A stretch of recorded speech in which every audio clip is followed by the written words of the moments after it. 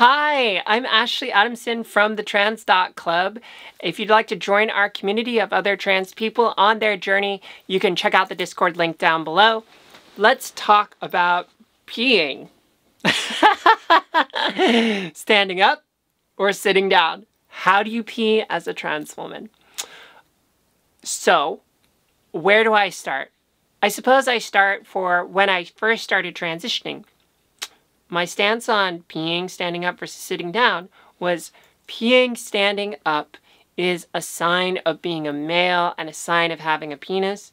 And so, of course, I'm going to sit down and pee because that's feminine, that's being a woman, that feels validating. And if there's anyone seeing me pee, because you know, you have friends and all of that, and sometimes you pee with the door open, that's going to make me feel more valid. And that's where I started. There have been moments like when I was clubbing in Berlin and I had my mini skirt on and I looked at the women's line and it was freaking too long and I really needed to pee. So instead, I went into the men's restroom and they have peeing troughs in these European clubs. And I just like went up to another, I stood next to another guy and I just pulled up my skirt and just peed into the trough next to him and was like, hi, uh, hi there. and he didn't actually bat an eyelash, which I thought was, uh, that made it a little less embarrassing for me to be there in a miniskirt peeing into a trough. But you know what? It was fine. Um, but peeing standing up is sort of this thing that if you're in a public restroom, in a woman's restroom, it's going to make a different noise. You're afraid that maybe people will see your feet. And you don't want to make other women uncomfortable, right? Like these are some of the considerations that go through my head. What are some of the considerations that go through yours? When I'm thinking that, it makes me think that I should sit down and I should uh, not pee standing up. But you know what?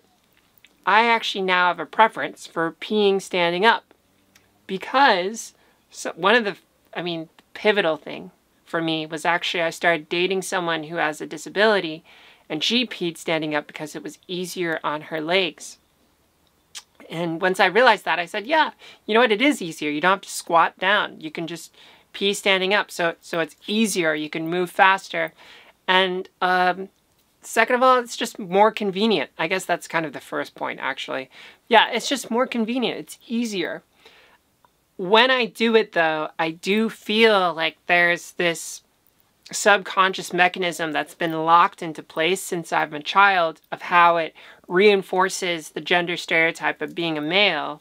You know, like the it's a manly thing to stand, zip your pants out, unzip your pants, and then pee and being like, yeah, I'm a man, I'm peeing.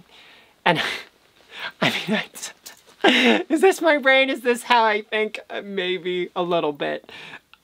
I don't know, like, if I'm trans and I'm like not knowing that I'm trans and I'm trying to validate my own gender that I think I am, I guess I could think that in order to try and reinforce the fact that I am a man. I don't know, have you done things like that where you've tried to reinforce being a man or reinforce being a woman by doing certain actions that you realize was just helping you suppress in denial who you actually are? Have you done that? So I think there is some sociological programming there. But if you can get past that, and I, have certainly started to get past that and realize, hey, it's it's a totally valid way to pee. It's great. I really enjoy it. And you know, I try to pee on the side of the toilet bowl so I don't make a huge splashy noise in the bathroom.